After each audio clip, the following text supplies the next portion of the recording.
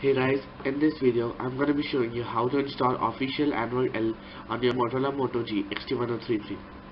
So you might be on final soak test or Android KitKat. So in this video I'll be showing you how to install official Android uh, L which is 5.0.2 rolled out by Motorola.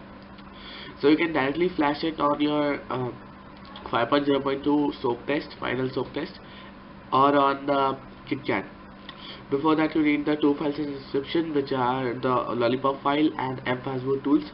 Just place them to your desktop. And after that let's head up to desktop. So in your PC uh, make sure these two files are in the same folder. Uh, just uh, extract them in the same folder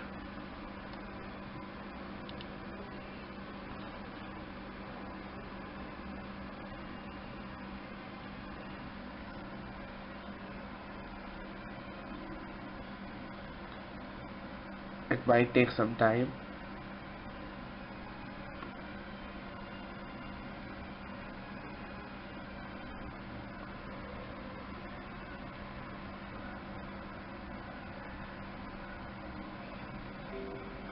So it's done. You can see both the files are extracted. And now uh, I'll show you what you have to do with the phone. So make sure your phone is connected to the uh, PC and uh, USB debugging is uh, enabled. Yeah this is an important step. You could see mine is enabled. And the cable is connected. So now uh, in your PC go to the folder where I've extracted both the files.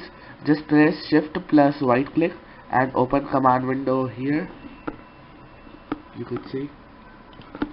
And in the command window type in these commands uh, you can see uh, notepad uh, these will be in the description. So if you want to lock the bootloader just uh, uh, type in these commands. If you do not want to lock the bootloader just type only these commands.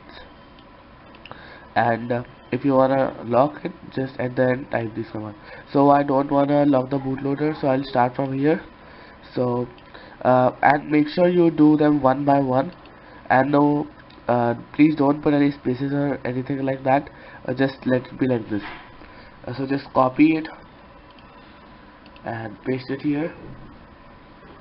Oh I'm sorry before that uh, make sure you are in the uh, fastboot or bootloader mode on your phone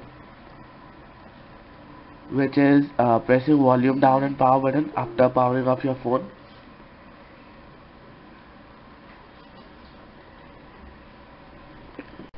I'm sorry I forgot to tell you. Uh, make sure you also place ADB uh, files because ADB1 API.dll is important. So make sure you place them also. Uh, now let's just paste the command. And you can also check your device if it is connected by pressing ADB devices.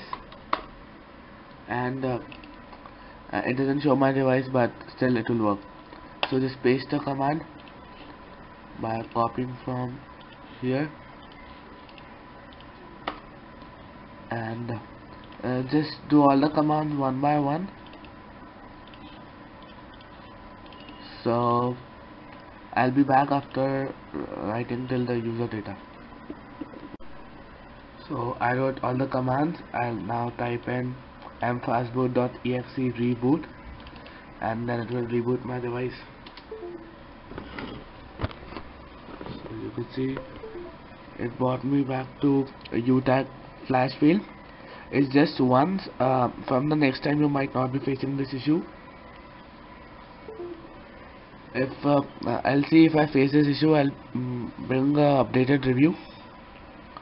And uh, make sure don't remove this cable uh, till you see the moto symbol boot symbol.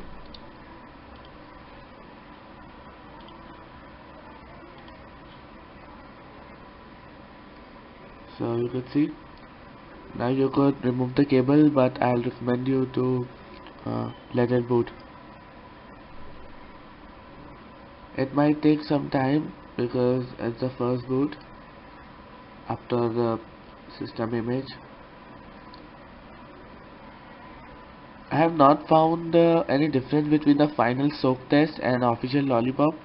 I'm just updating it because I just wanna uh, go uh, go for the official you can also stay on uh, the soak test because there are not uh, major differences.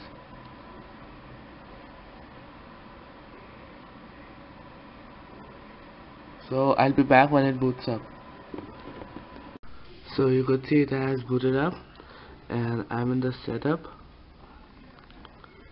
So I'll be back after the setup. So I finished the setup very quick and uh, I'll set all this up later and you could see it comes with uh, the Motorola launcher which is not that great. Uh, I suggest you to use Google Now launcher.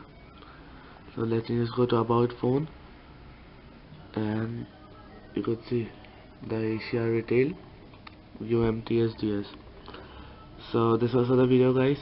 Thanks for watching. Hope you liked this video. Please subscribe to my channel for more videos